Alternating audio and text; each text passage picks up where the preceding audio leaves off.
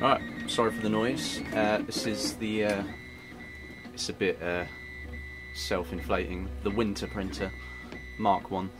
Um, I'm only taking this video to prove to one of my very fussy A-level students that it actually works, because he doesn't believe it finished.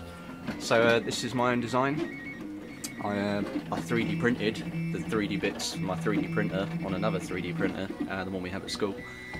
Um, but as you can see I'm now making uh, one of the parts that I designed using my own 3D printer, which I'm pretty happy about. Um, this is just built from um, a kit that you can get on eBay. I didn't, um, all the frame, aluminium and stuff I designed, welded together at school myself, all the brackets and hardware I designed, um, just the, the electronics basically came from the kit you can get on eBay. So for about 100 quid you get all the stepper motors, uh, the limit switches, push them, the extruder head, the heated heated build platform, little display which is quite handy, tells you what's going on, um, and it all runs off uh, open source stuff. It's all out there on the internet if you just look up um, RepRap for 3D printing. Uh, there's a massive wiki on it that tells you all sorts of stuff, but this is a bit it's building. Um, yeah, I'm pretty happy with it. It took a while to get going, I'm not going to lie.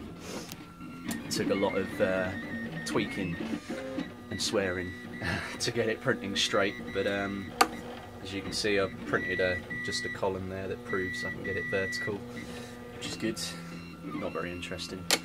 So anyway, now I've uh, printed a 3D printer.